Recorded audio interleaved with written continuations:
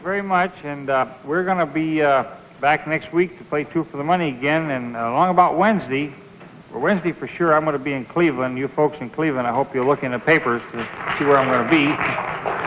Like to see you out there. Thank you very much. We had some fun tonight, and I think that the uh, folks won quite a little bit of money. Hope you'll be back next week to watch us. We'll be all set to play Two for the Money. Good night.